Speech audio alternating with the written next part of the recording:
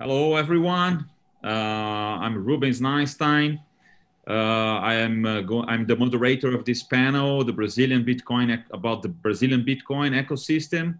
It's a pleasure to have you all here with us. Um, I'm going to uh, organize and to moderate this debate. Uh, first of all, I want to thank all the LabitConf organization in the name of uh, Rodolfo for inviting me to, to organize and to bring all the these four great Brazilian uh, panelists to this uh, uh, Brazilian panel.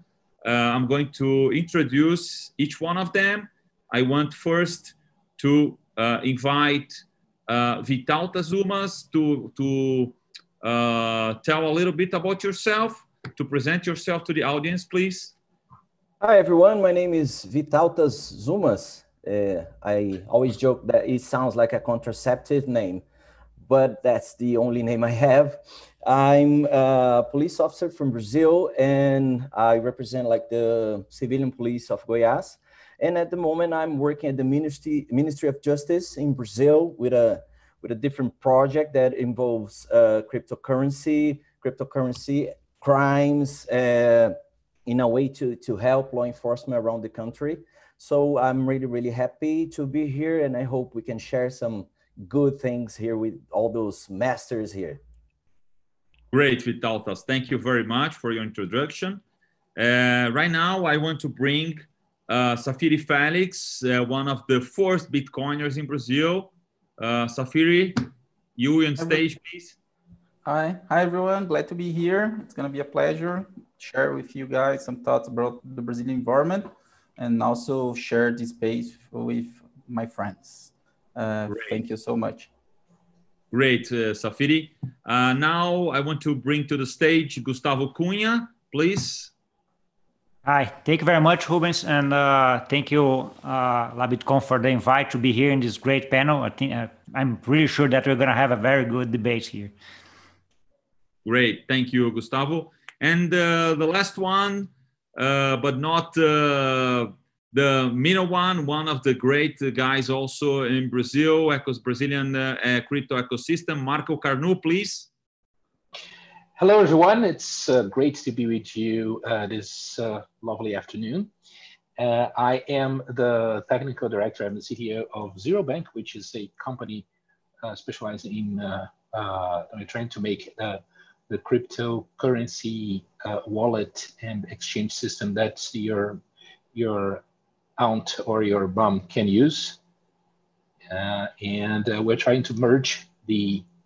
Uh, we're trying to. I, I, always joke that we're trying to make both uh, God and the devil speak uh, the mm-hmm. same language and and and get along together because we're trying to join the traditional banking experiment with the cryptocurrencies. So that's what we're trying to do. Uh, but I am a technical guy. I'm a bits and bytes guy. Uh, so I may be perhaps the the oddball in this uh, group, but I'll try to keep up because uh, uh, all the other panelists are just great. And I would like to uh, thank Rubens and the LA BitConf organization team for inviting me. Okay, thank you, Carnu. As you can see, we have a very eclectic uh, uh, panel. Uh, we have one economist, one Bitcoiner, one blockchain uh, scientist, and one Brazilian legal authority. So, uh, and we're gonna we're gonna discuss about some topics here. We're gonna talk about uh, economic aspect of the Bitcoin usability and regulation and crimes in Brazil regarding Bitcoin. So, I'm going to start one uh, just uh, making a question uh, for the for the first of uh, you i'm going to talk to i mean each one of you obviously can will, will be able to talk about this topic. But first of all i want to call safiri felix to start with the this uh, uh, first question. Safiri brazilians have used bitcoin in what situations? What how do you see the market today? And how are Brazilians using Bitcoin for real? Okay, we are in a very special moment in Brazil. Our basic interest rates are in the lowest uh, levels in history, and we also have uh, a lot of uh, attention about potential inflation uh, increase in Brazil. So in this this framework, Bitcoin is almost the perfect uh, fit because it's a very simple way to for a regular person uh, diversify their portfolio and also get exposure for a digital global commodity that also has relationship with dollar. So in this moment, when we see uh, reais getting pressure from the market and a lot of people question, questioning about their sustain, sustainability, Bitcoin is, is starting to, to, to be a BC as a very good alternative. So basically, Brazilians use Bitcoin as a alternative asset. And also we see some use cases related to remittance and uh, basically the, this kind of stuff. Uh, all the tokenization environment in Brazil is, is really on the early days. So we expect that probably next year with the uh, CVM sandbox, it's our uh, capital markets authority, probably gonna see more use cases and more alternatives for Brazilians and also for Latin America investors. Great, thank you, Safiri. Uh, now I want to call uh, to, to talk to Gustavo Cunha, that is a Brazilian economist, and uh, have your opinion about uh, this subject. I think, I, think the, the, the way that Brazilians are using Bitcoins is definitely the way that uh, Safiri said.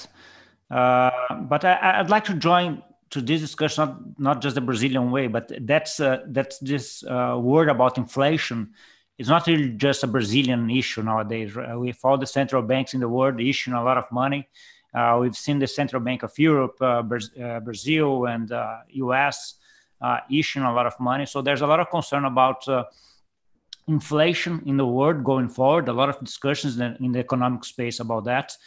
And uh, of course, Brazilian, it's it's uh, what I can say a high bet in terms of inflation. Brazil has a history of high inflation in the past, so all the Brazilians are more not I cannot say used to that, but they know how uh, inflation can be very bad for the economy and for, for the Brazilians. So uh, Bitcoin in the in this sense can be a kind of a, a, reserve for that, or can be a kind of hedge for that. And I'm sure that uh, there's a lot of people in the world looking for that, and also in, in Brazil. So I can see that in Brazil also, and uh, we, when you have a history of uh, economic crisis in some countries, uh, there's some countries that there's a history of uh, that the people increase the amount of Bitcoin that they buy. So uh, when you kind of have a government issue, in Brazil in the last years have kind of had a, a very turbulent uh, economic uh, and political environment. And of course, that uh, of, helps the, on the increase of, of the utilization of Bitcoin as well.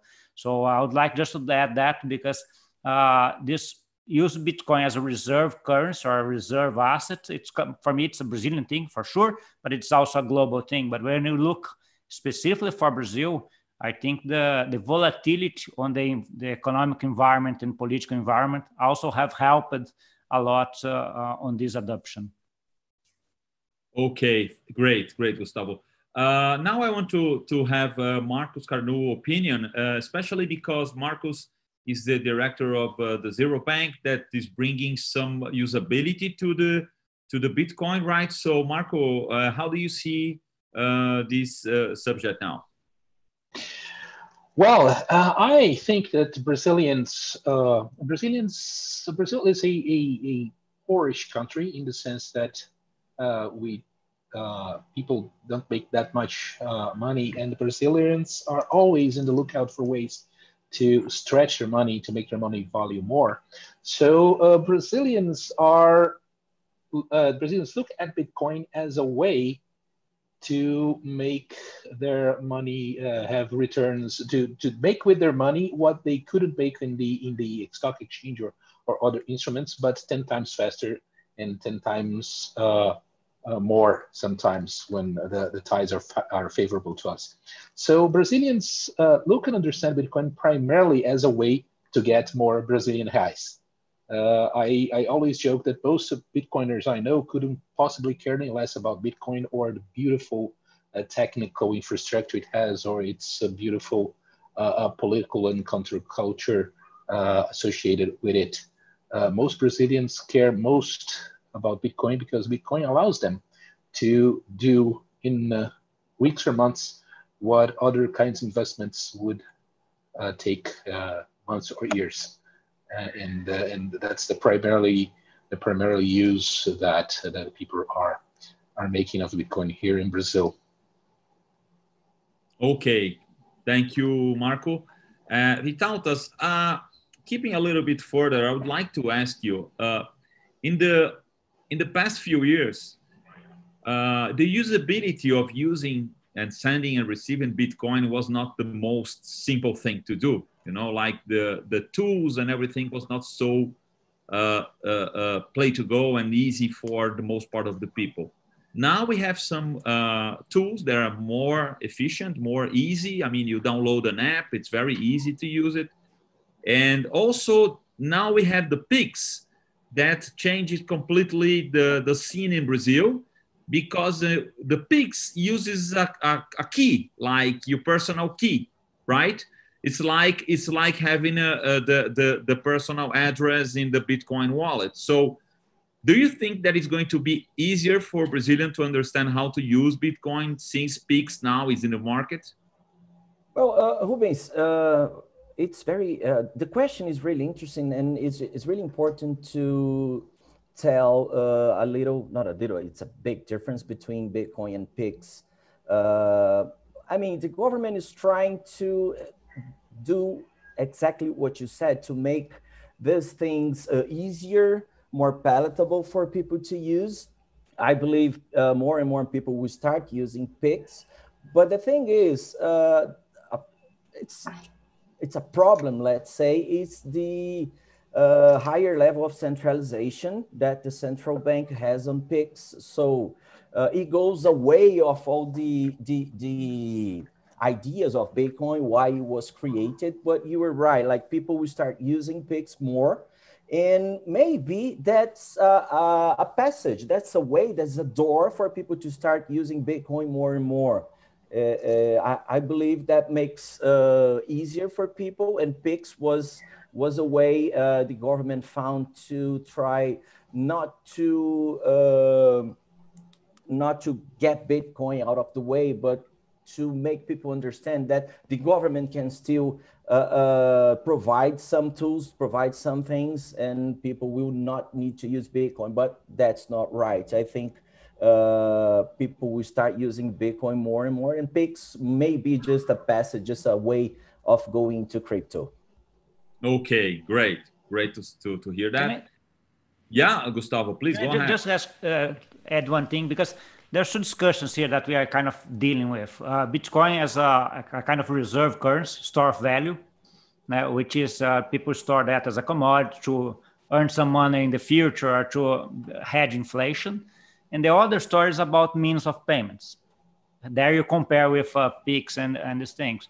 And uh, for me, and uh, maybe you, someone here can have a different opinion, so that's that should be good. But for me, Bitcoin can be a, is a good reserve uh, in terms of uh, store of value, but it's not clear that it's a good uh, way of payment uh, because of all the discussion about is it, is it scalable or not. So, uh, and and and that's a that's a good discussion, I think, because when you say you compare with Pix, Pix really it's a centralized, it's from Central Bank of Brazil, but it's really scalable.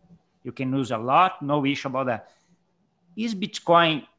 We can scale Bitcoin to be to pay a coffee or something. It doesn't seem for me. It doesn't seem to be the case but uh, I don't know if you have the same opinion here. But uh, Gustavo, we have seen well, a lot uh, of. Oh, sorry, uh, Gustavo. We have seen a lot of uh, implementations, new, new, implementations on Bitcoin, uh, like segregated witness. Now we have the the Lightning Network as a ways to scale Bitcoin. But you are absolutely right. We don't know how effective those steps those implementations will be. And uh, yeah, uh, I, I, believe Bitcoin might not be uh, that very good means of payment yet, but we don't know. We need to wait and see how it goes.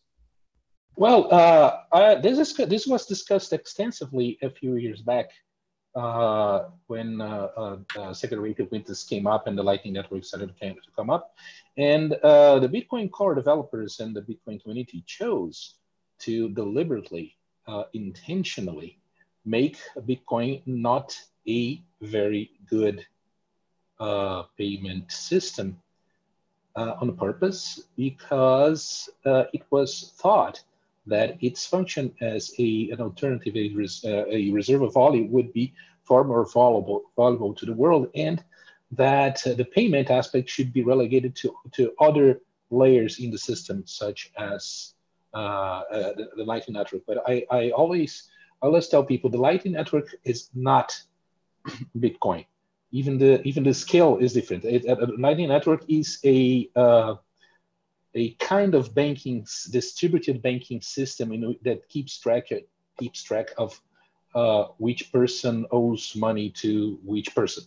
Uh, it's kind of like not not entirely different of, uh, of a bank uh, at, a, at, a, certain level. It's different because it it has the potential to be this more decentralized, uh, even though it somewhat tends to centralization. But it has it can be more decentralized than banks. But in the in the essence, when when you uh, deposit money in your bank, for instance, you're actually not depositing money in your bank. You're giving your money away uh, to your bank, and your bank records how much it owes to you. The, the bank takes a, a debt in the same amount, in the same denomination, in the same currency uh, back to you. And that's what the Lightning Network does, albeit with more uh, cryptographic guarantees, with a different architecture, but it keeps track of, of uh, who owes money to whom and and and there is this hope uh, using Bitcoin as a, a, a, the denominating currency. Uh, so the debts are denominated in Bitcoin. But uh, what I'm trying to say is that Lightning Network is different from Bitcoin. It's another thing entirely. It's some, and even if, if, even it's supposed to be denominated in Bitcoin or on top of it. The, uh, and the um, the Bitcoin developers deliberately chose this path for Bitcoin. Uh, it's not that it's not technically possible for blockchains in general and Bitcoin in particular to scale. It has been proven in other cryptocurrencies that it can be done, but uh, it was a deliberate choice on the part of the the, the, the Bitcoin developers. Uh, so uh, it's no wonder that Bitcoin has not proven to be a good uh, payment system. It was deliberately designed not to be that. And uh, so we have these alternative systems. And I always like to point out that even before the uh, Lightning Network came up, we had another second layer network. Uh, it, that was the cryptocurrency exchanges.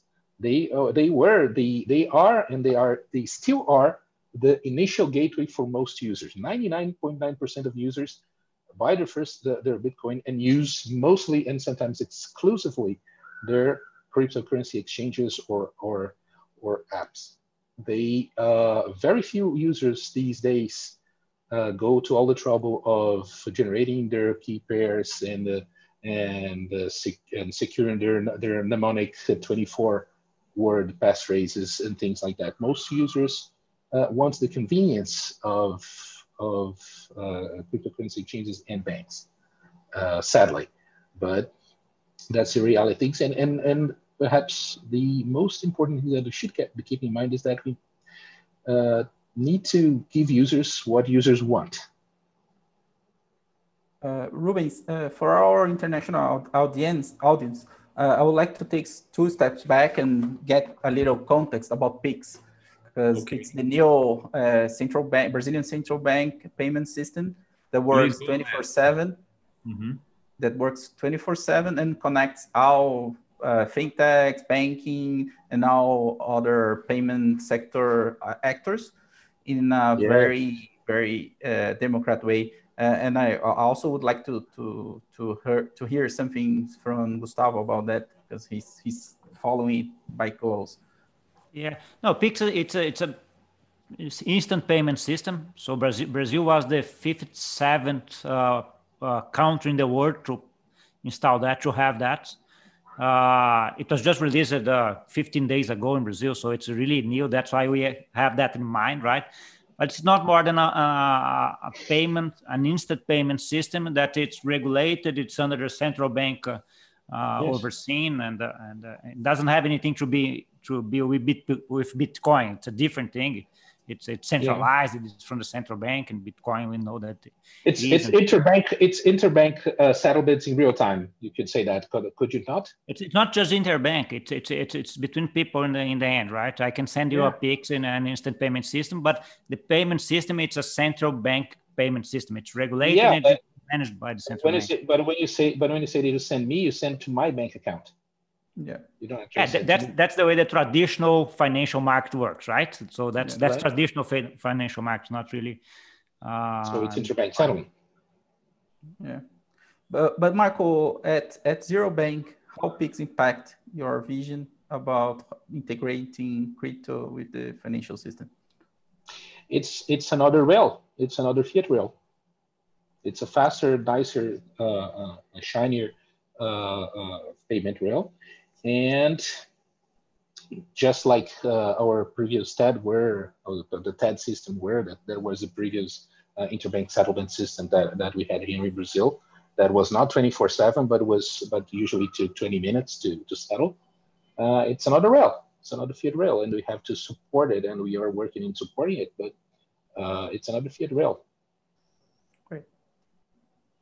Okay uh, does anyone want to talk anything else about it? I mean, uh, we've been discussing about you know Bitcoin as a payment.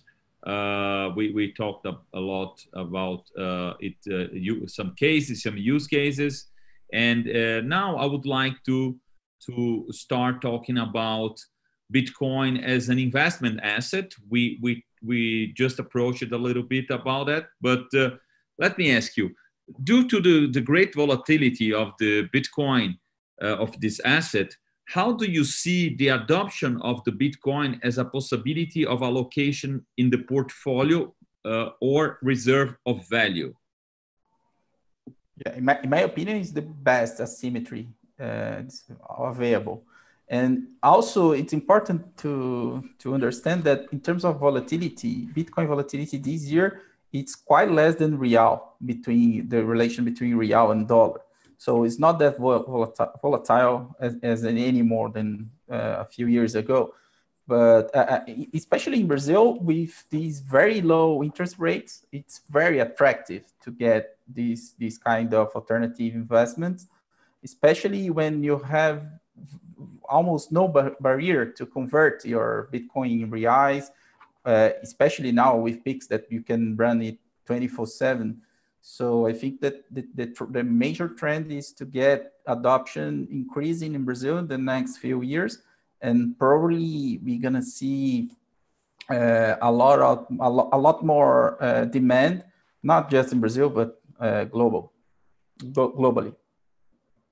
Okay, so, but uh, uh, since a few years ago, the only way you can you could be exposed to Bitcoin was actually buying the Bitcoin, right?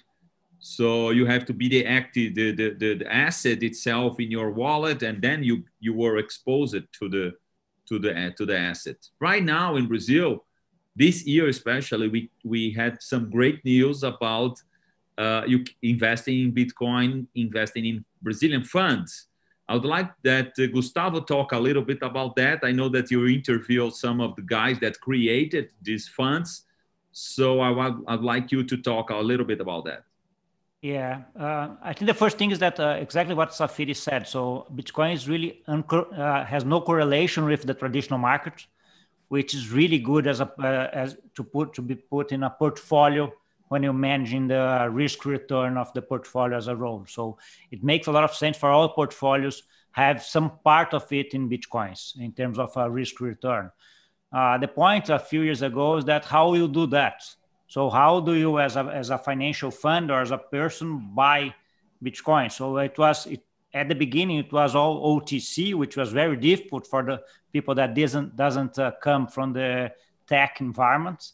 Uh, then we came to the exchange that you can buy on an exchange and get the, the Bitcoin exchange. Now we are moving for some financial products that kind of uh, represent the Bitcoin. They are not really the Bitcoin itself. The people doesn't have a, the private key on it, but in terms of financial, uh, in terms of investment, you have more or less the same uh, effect. So it uh, varies as the Bitcoin varies. So we have some funds, not just in Brazil, but abroad.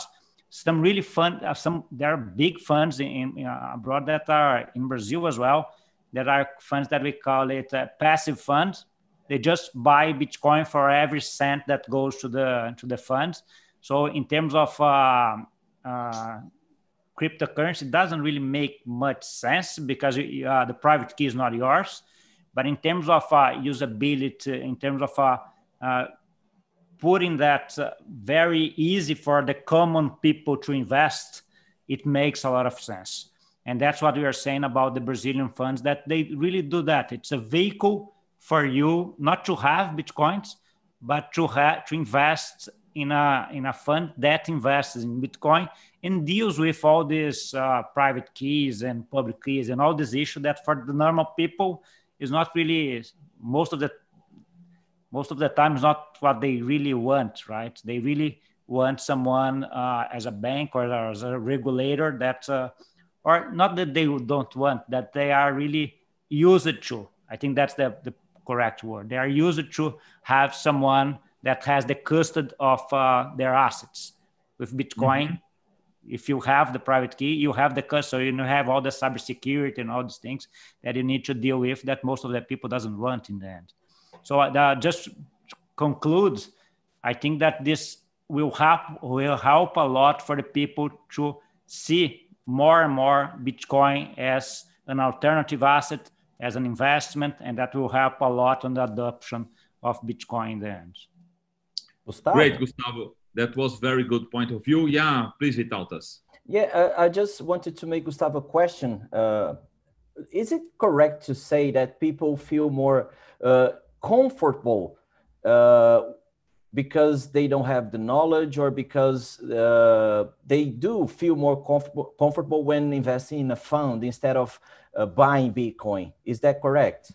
I think so because it, it's regulated, right? In the, in the end, when you invest in a thing that's regulated, it's the way you use to invest in everything. So you have you know the regulation, know that there will be some uh, custodian, some central bank, some or CVM or someone dealing uh, with that. So in the end, you're not going for a scam or things like that.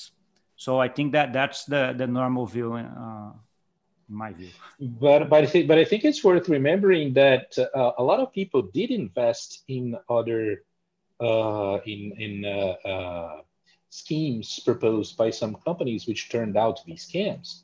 So uh, and and and we got quite a burn in terms of, of reputation for Bitcoin in a few uh, a few years because uh, huge high profile companies that were offering Bitcoin based in Bitcoins or, or so they said uh, Bitcoin based investments uh, they they uh, went bust and that that really hurt the the, the, Bitcoin image.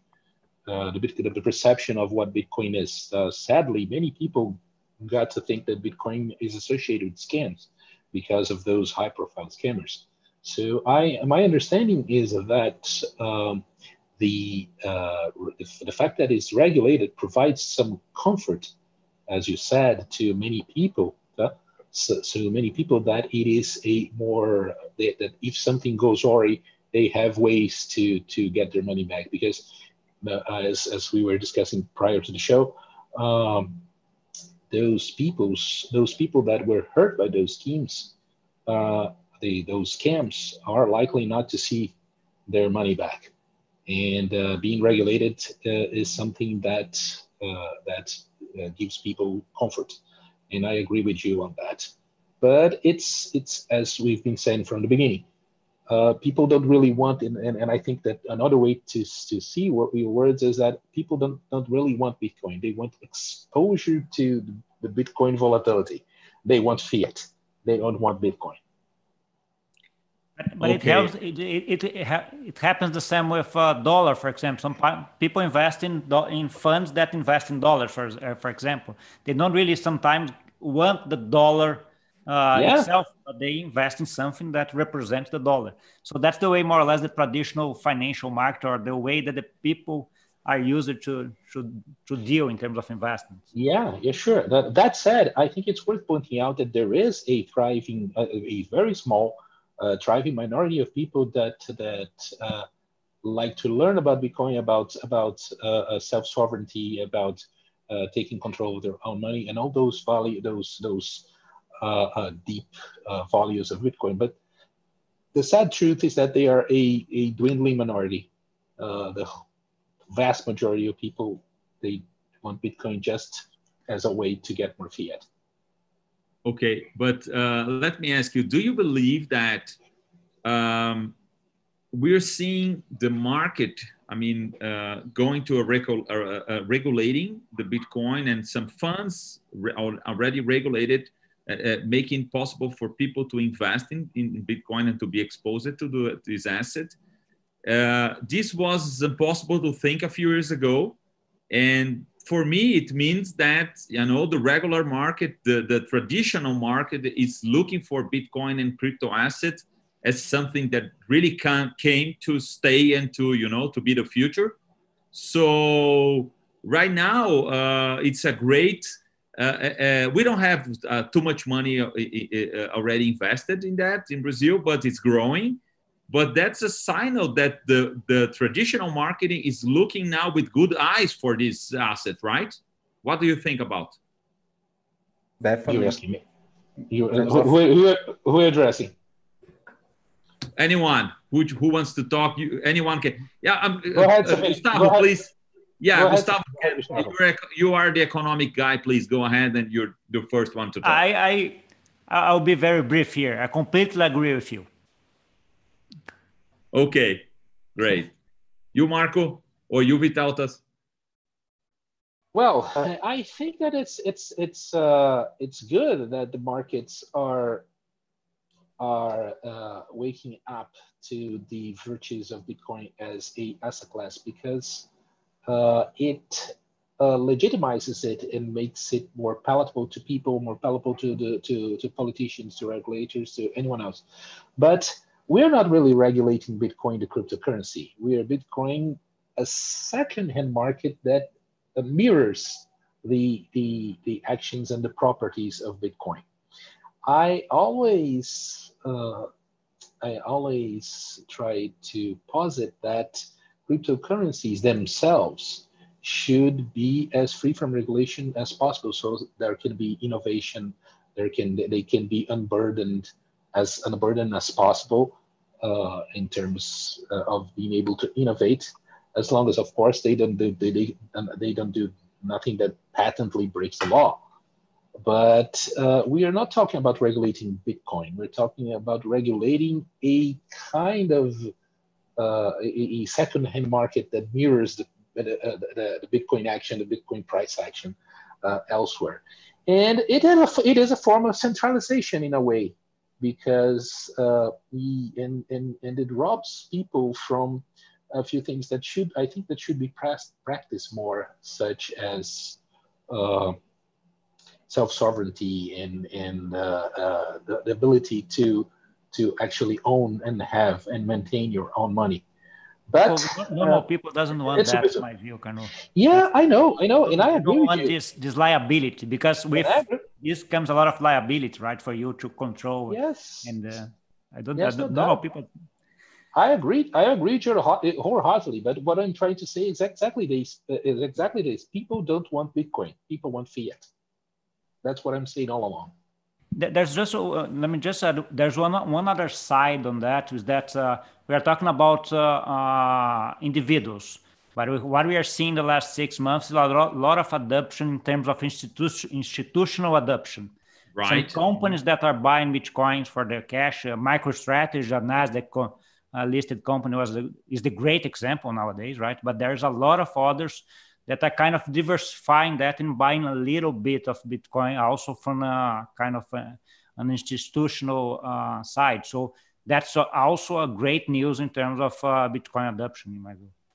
Yeah, the digital scarcity investment thesis is getting popular, even in very high profile uh, people from financial markets. And I think it's just a, a terms of time to get more, more influx of money coming from other traditional investments uh, migrating to crypto market. Because uh, when, when you cross the, the line and you really understand why this concept is important and now about the global environment it's almost natural to, to get some exposure. Yeah and uh, uh what Rubens said in the beginning like uh, Bitcoin and cryptocurrency are here to stay. Uh, there's no turning back. It's a marvelous technology and people must make the most of it. And I'm sure uh, if it's going to be Bitcoin or not, but uh, it's a technology that's here to stay, definitely. Great, great to hear that, that we all agree about that. And uh, we are in the last uh, six minutes of our debate uh, I'd like to to I mean to give you free now free uh, option to talk anything uh, that you want to talk about. I'd like to to ask Safiri Félix about. I mean, I mean, you you are now one of the directors of the AB Crypto, right? That is the Brazilian Crypto Association, and I'd like to see how are, are you managing how uh, uh, if the institutional uh, companies are getting into are asking and approaching the AB crypto for you know understanding better the the scenario of uh, of the Brazilian crypto and uh, tell me a little bit about what you're uh, going through in the AB crypto. Okay. Our focus is to get a very good relationship and dialogue with public uh, institutions, especially uh, the central bank, the CVM, and all other potential regulators of the market. So during the last two years, we are working really hard to educate them and also to trying to translate all these complex uh, contexts and terms to, to, to, something more palatable for a regular audience. So I think that we are getting very, very good progress during these last few months, especially uh, after the Brazilian Fiscal Authority create a, an instruction that provides a very clear framework about how to report all crypto transactions. And also, uh, after all the activities related to intermediation, custody, and trading of crypto is now officially uh, recognized as a economic activity in Brazil. So I think that in the next few years, probably we're gonna solve these regulatory uh, gray zone and we, we're gonna wrap, wrap up and get all the conditions to get even more adoption. Great, great, Safiri. Uh, there's one aspect that we didn't talk too much. I just remember now. Uh, we talked about the economic aspect. We talk about the usability aspect, and I'd like to, to invite now Vytautas to talk a little bit about the regulation and the crimes that is happening in Brazil using crypto, Bitcoin, and crypto, and how are you uh, fighting them? Uh, yeah, unfortunately, uh, criminals, they're always using new technology, new stuff for committing crimes. And in Brazil, it is not different. So it's up to us to make uh, law enforcement agencies aware that, as we have said before, it's a, it's a no turning back. Now we, we cannot, we won't go back. It's uh, a one-way road now. And law enforcement must be aware that those technologies, we will always be there. Uh, Bitcoin, of course, Bitcoin is not illegal, but uh, unfortunately, people commit crimes and get money out of it, uh, unfortunately. Uh, and regulation in Brazil, it's still at a very early stage. Uh, what Safiri has said about the, the fiscal authority with the instructions for uh, uh, with instructions for the the for people who, who who are buying bitcoin and everything that's the first step that was really really good.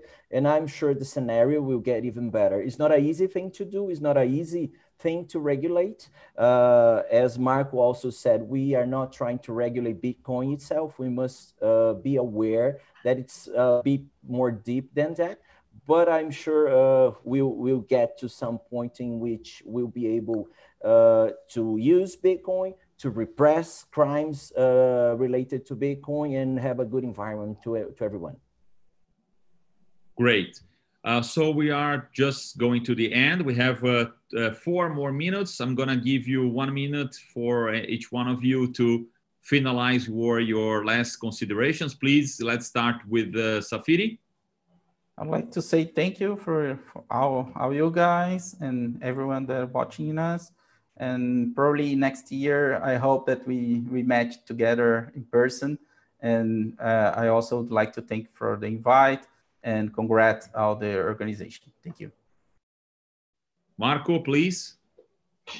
I, I think that uh, we in Brazil, we have come a long way with uh, cryptocurrencies. Uh, they started being mostly unknown and, and the niche of a few technicians.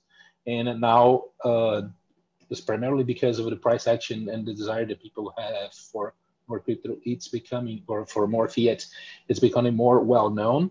And I would like to invite everyone in the audience to get get engaged, uh, buy your Bitcoin, uh, and more importantly, not only buy your Bitcoin for the fiat it can provide you, but go the extra mile. Try to uh, research and understand because Bitcoin has a very beautiful technology behind it. It has a very beautiful ethos and a very beautiful uh, political opportunities for people in terms of self-sovereignty and, and control of your own destiny. And uh, this is something that I think that should not be forgotten. And it, it still is within people's grasps and it, was, it will probably likely be. But it is true, everything that we've been seeing here, that uh, most people just want a crypto bank. And for that, if you uh, Google up, you will see a number of interesting alternatives that you might consider. But it's great uh, that we have been, uh, Safiri's work at the Abi Crypto has been uh, pivotal in, in straightening the, the dialogue with the many institutions. So uh, we are very thankful for his for his brilliant work and patience because it's a it's a, a exercise in patience. Uh, and uh, I would like also to thank to to thank uh, Vytautas uh, because he is one of the few guys in the space uh, that has the right, the, the, mind and the heart in the right place. Uh, mm-hmm. and and he's a guy too. He's a guy that that will, will be protecting us from any criminals out there. And I would like to thank uh, to thank Gustavo for its fantastic insights in, in, in the economics aspects and institutional aspect of it. So it has been great to be debating with you guys. Uh, and I thank you, Rubens, for the invite again. Gustavo? I'd like to thank you all for the for the panel. It was really great to have to, have, to discuss with all uh, to discuss with you here, and Rubens and the organization for the invite. It was also great pleasure. I also hope to be there in the next year as well. So uh, preferable in presence, live, uh, so we can talk uh, each other. And uh, for the public in general, I would like to give a message in terms of education. So, guys, it's here it's it comes to stay it, there's no coming back so the earlier you understand the technology understand the, what it is the better for you so i think that's a, that's the message so there's a lot of ways for you to educate yourself on that but you need to take the first step to that on that educate yourself understand it as soon as you understand it you're going to see and you're going to love it as we all here love it because the technology and the things that it, it provides for individuals, it's it's amazing. Great, great. Vytautas, your last words, please. Oh, thank you very much. Thank you, Rubens. Thank you to the others. It was great taking part in this. Uh, it was fantastic. I'm sure. I sure. I'm sure I learned a lot today. And uh, to everyone, uh, blockchain is a beautiful technique, uh, technology uh, it must be uh, one of the nicest things I've ever studied. And there's only one thing that I really regret is that I didn't start studying Bitcoin before. I wish I could have done it like many years be behind. But uh, unfortunately, I have to keep up. Uh, but thank you, everyone. Thank you, Rubens. Thank you. Thank you. Okay. Uh, so we are finishing this panel, this Brazilian panel. It was uh, such a great pleasure to be with all of you. You're great guys. We have great, great guys and girls uh, building the Brazilian ecosystem. So let's keep doing a great job, and uh, the 2021 will be together for sure. Okay. Thank you very much for all of you. It was a pleasure. Have a great week. Thank you. Bye bye.